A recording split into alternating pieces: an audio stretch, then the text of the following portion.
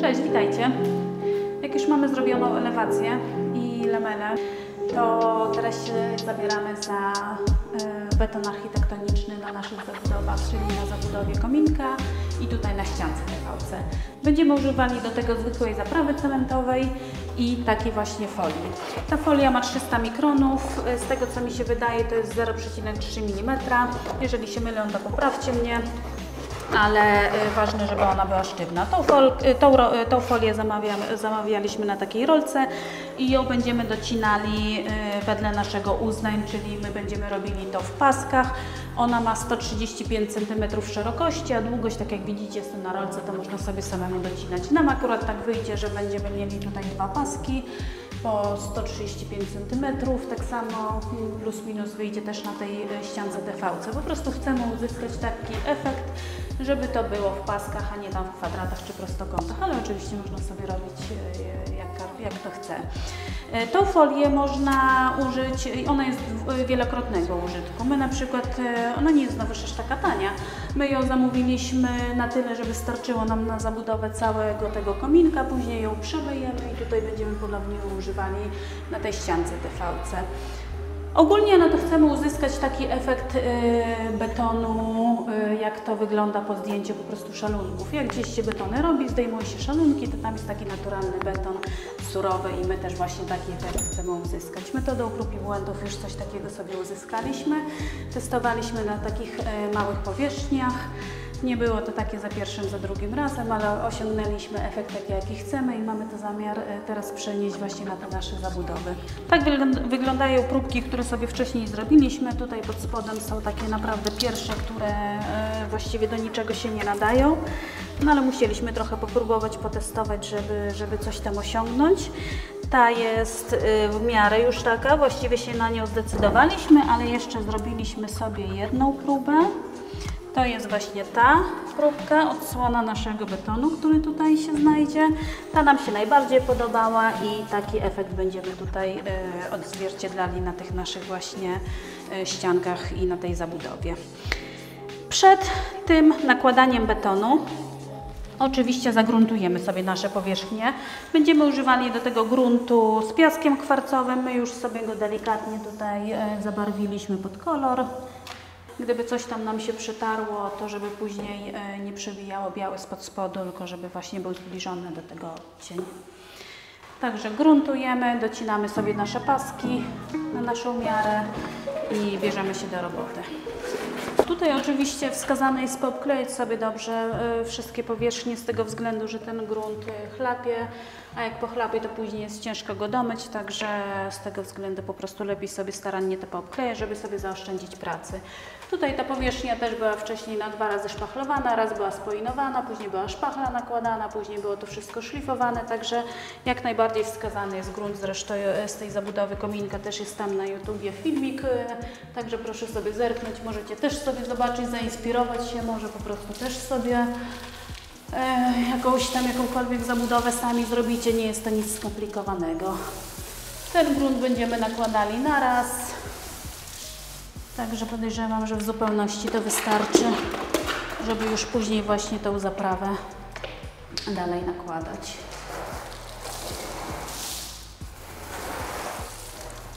No tutaj też tam poodcinaliśmy sobie w pewnym momencie, gdzie już będzie się kończył, kończył ten e, nasz beton, bo on nie będzie leciał, tak jak wspomniałam, na samiutkim początku, aż do samej góry. Będziemy odcinać tutaj na tym etapie, gdzie jest komin i ten słup, to one już zostaną białe, dlatego ładnie, równiutko sobie taśmą odcięliśmy, że później jak e, dojdziemy z betonem, to będzie ładne, równe odcięcie. Także e, to tak.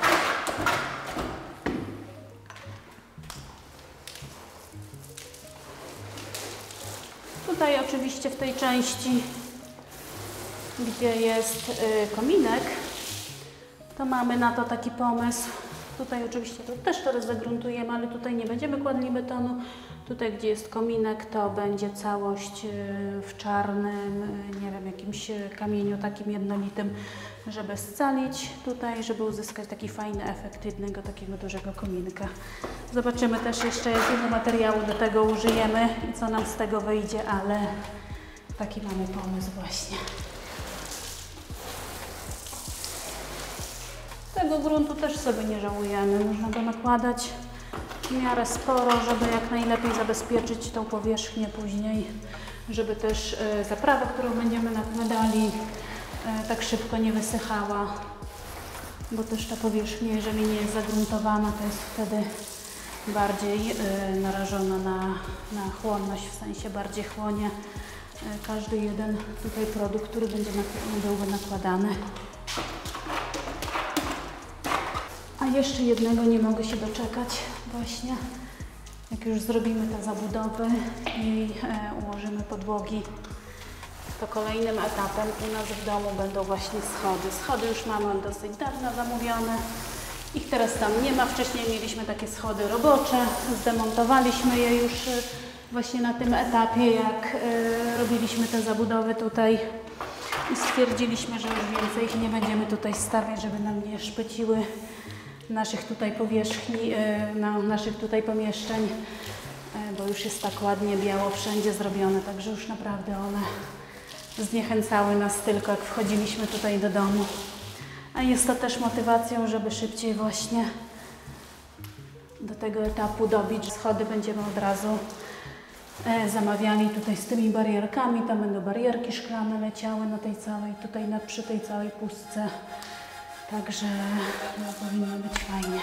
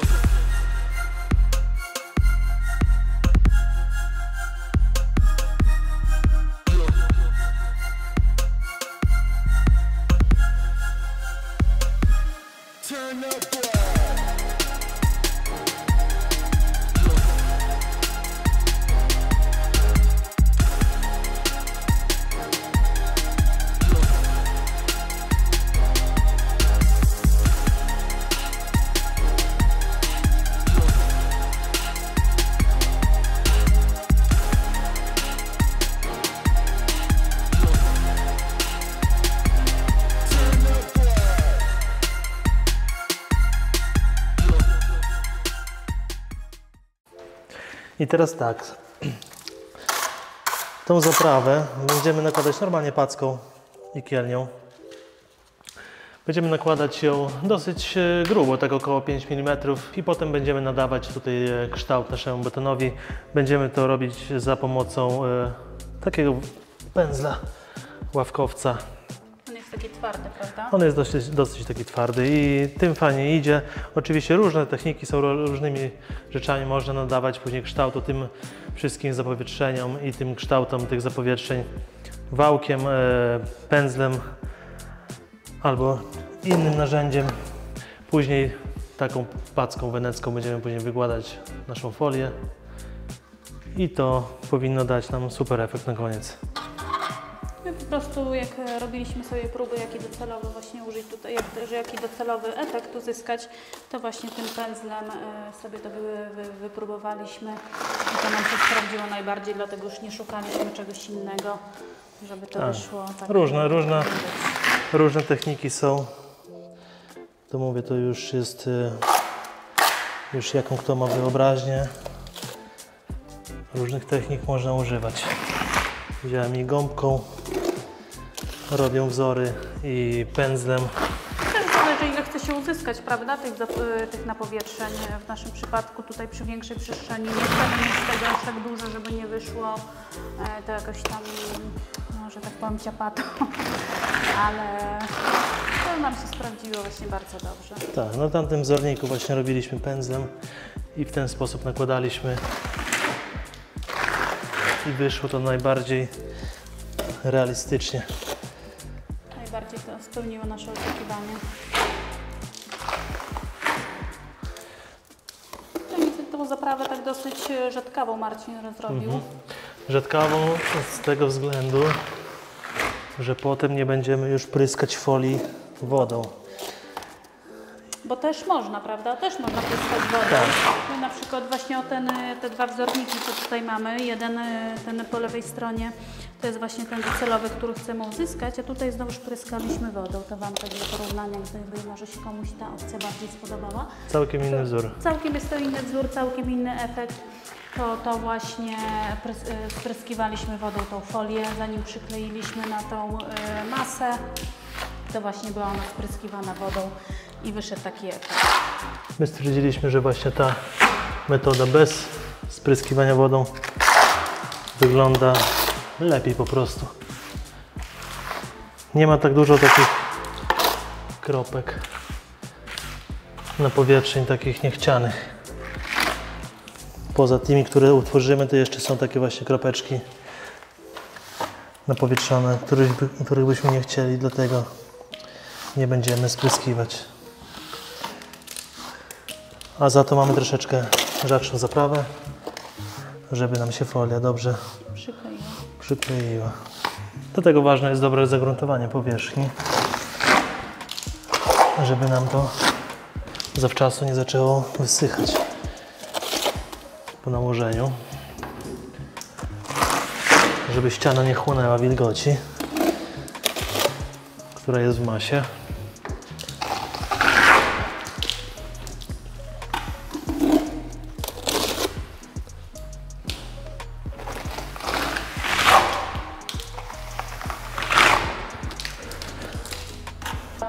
Prostu najbardziej w tym wszystkim chodzi o to, żeby opanować sobie technikę, jaki chcemy uzyskać efekt.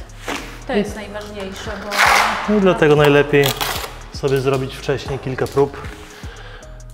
My tę próbę robiliśmy właśnie na płycie gipsowo-kartonowej. też zagruntowaliśmy ją. Dokładnie zrobiliśmy to samo. Zagruntowaliśmy płytę karton gipsową. Nałożyliśmy tynk, to znaczy nałożyliśmy zaprawę i zrobiliśmy kilka wersji.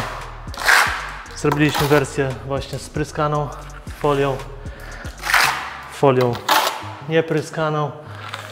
Jedną wersję robiliśmy z dodatkiem wapna, przez co chcieliśmy właśnie zrobić taką bardziej gęstą masę, a zarazem jaśniejszą, żeby od wapna trochę się pojaśniła, ale to też nie zdało egzaminu.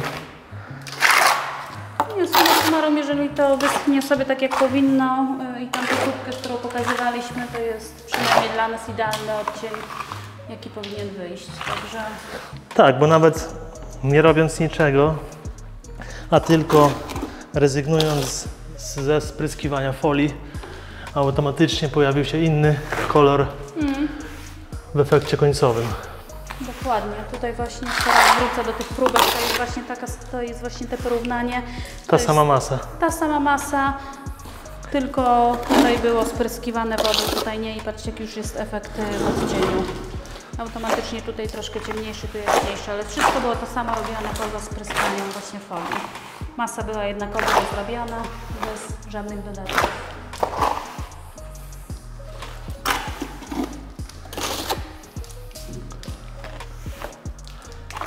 My tu sobie nałożymy na razie tak z grubsza.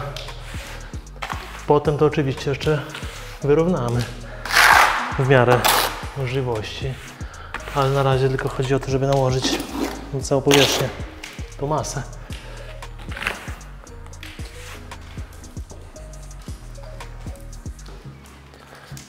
No i tutaj jak już Marcin nałożył sobie na całą powierzchnię tą masę, to właśnie nadaje takie tym pędzlem kształty, gdzie byśmy chcieli, żeby były napowietrzenia.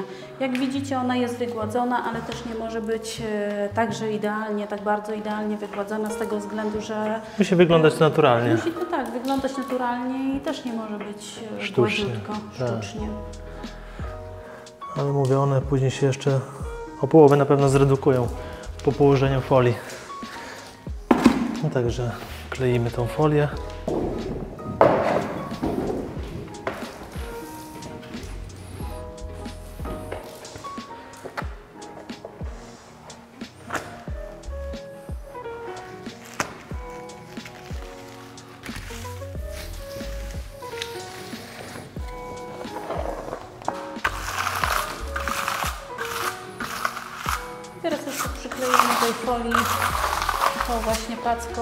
Przyklejamy na zasadzie takiego głaskania tej folii, żeby później to powietrze mimo wszystko gdzieś tam zostało, które powinno, ale żeby jego też nie było nadmiar.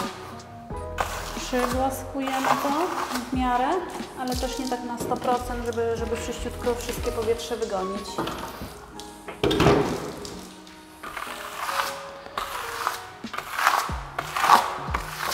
Teraz sobie kontrolujemy sami te napowietrzenia podczas właśnie przy, przygłaskiwania tego. Bo to wszystko widać właśnie. I można sobie kontrolować wszystkie te I w sumie najbardziej na tym etapie sobie tutaj podkreślamy, co chcemy mieć. Jaki chcemy uzyskać efekt. Jak dużo tego wygłaskamy, jak dużo zostawimy powietrza, bo tak em, w sumie od tego właśnie etapu najbardziej zależy efekt końcowy.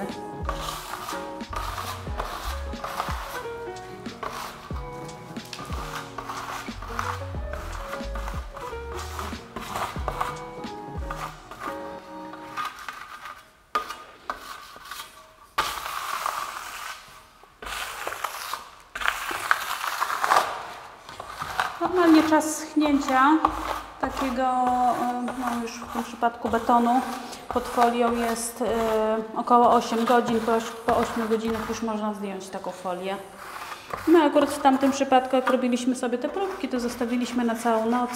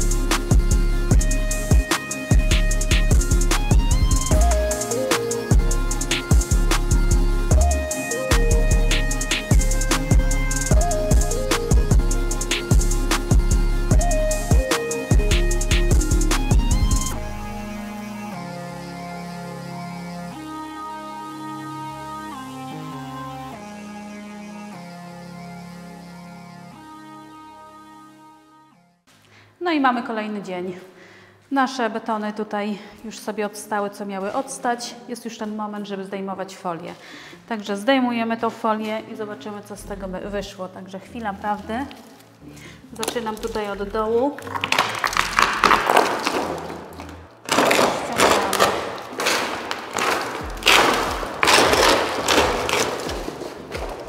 No, no, powiem Wam, że pierwszy efekt zadowalający.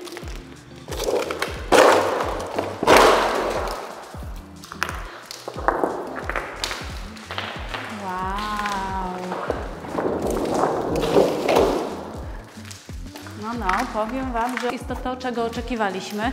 Oczywiście po zdjęciu tej folii musi jeszcze ta wilgoć cała odparować, bo jak widzicie jest to jeszcze y, miejscami mokre, także dopiero będzie się teraz y, z godzinami wydobywał y, taki po prostu kolor tego, jaki powinien być. Ale powiem Wam, że no tak, na szczęście nie będziemy musieli tego zbijać, zrywać. Pozostawimy to na pewno tak, jak jest. Oczywiście musimy tutaj dopracować, prawda, do, do skrobnąć sobie tutaj te takie, bo wiadomo jak się nakłada, to, to gdzieś tam to jest nieuniknione, ale to jest wszystko do dopracowania. I co, zrywamy to po kolei? Tutaj nie wiem, chyba potrzebuję drabiny, bo e, tam mamy tą wnękę.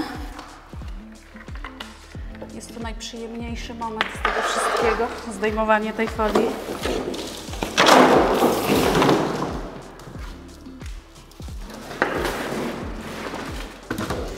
Staraliśmy się, mimo wszystko robiąc nieregularne, to zaraz sobie dopracuję, staraliśmy się robiąc, staraliśmy się robiąc te, te właśnie odciski nieregularnie, żeby to nie było jednakowo.